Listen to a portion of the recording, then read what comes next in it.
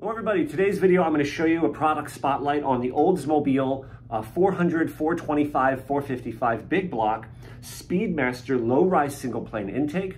And I'll compare it and contrast it to the venerable old Torker single plane intake. And I'm going to show you something very surprising, a really surprising feature about this intake you may not like unless you've really seen some pictures of this. I don't think it shows up on the website um, or on the ads. Okay, so let's go. Okay, so guys, I'm going to do what's called a staying in my lane. I'm not going to give you tons and tons of details about this. I'm not going to make recommendations. Number one, can't do that without knowing engine specifics. Uh, number two, um, you know, I'm not an engine builder, a race car guy, right? Uh, but what I am is a guy that has an, a degree in mechanical engineering technology. You know, um, last car I had went 12s. You know, it's not that fast by today's standards. Um, this one should go a lot faster. But the point, point is, there's some important value I can bring you. So. Speedmasters come on the scene um, and, you know, taking the place by storm. They make Oldsmobile aluminum cylinder heads that are very affordable, not very great out of the box, but a great starting platform.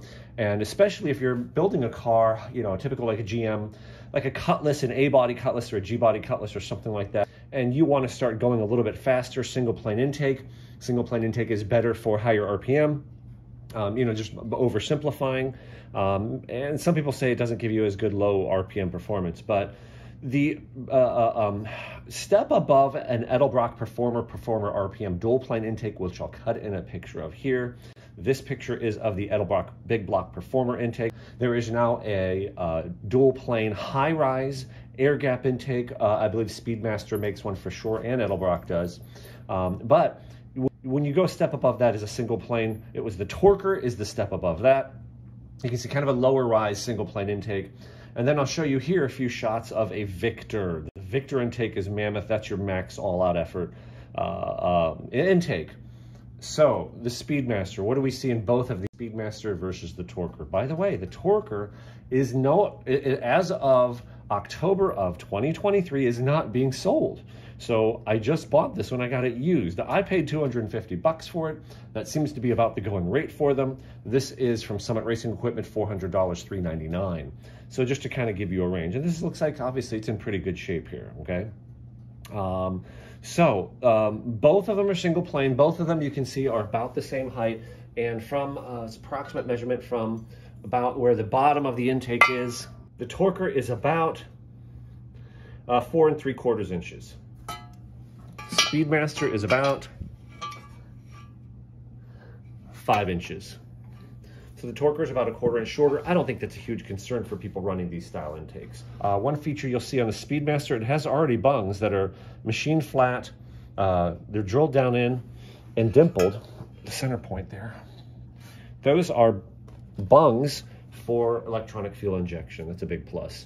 You've got a spread bore here, intake carburetor flange, on the Torker, square bore here, and I believe this would fit like the 4150 series of Holley carburetors. Now, by the way, you can get flange adapters. See something like this, right? With a spread bore on one side, square bore on the other side, okay? So not a big deal, but maybe a consideration for you. Now, let me get right to a couple of the features. One of the features that some people don't like about the Torker are these outer four runners here.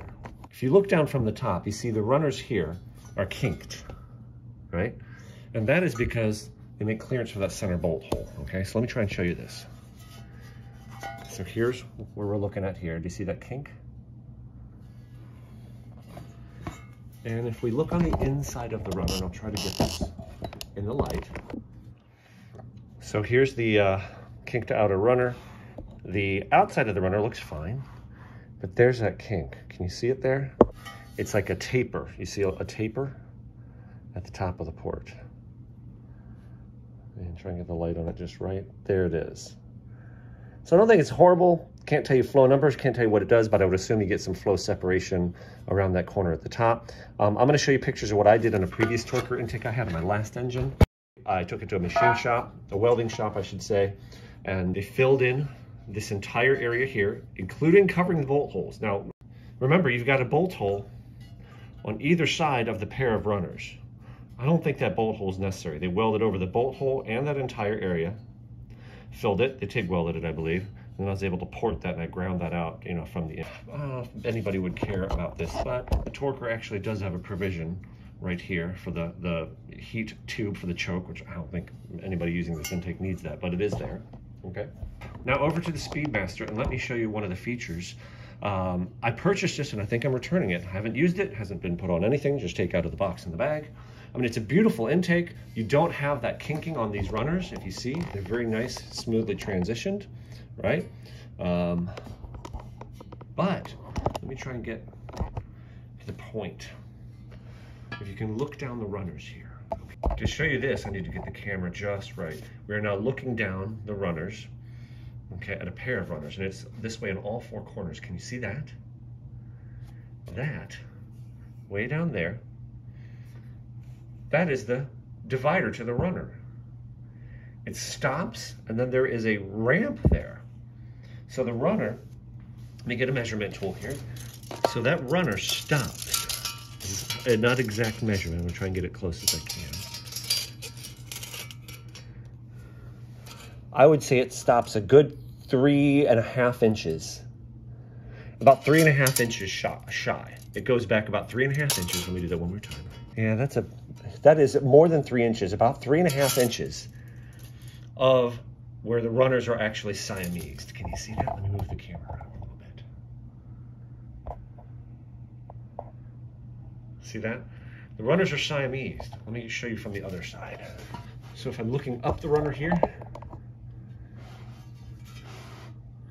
can see where that wall ends. Let me shine the light from the outer port, right?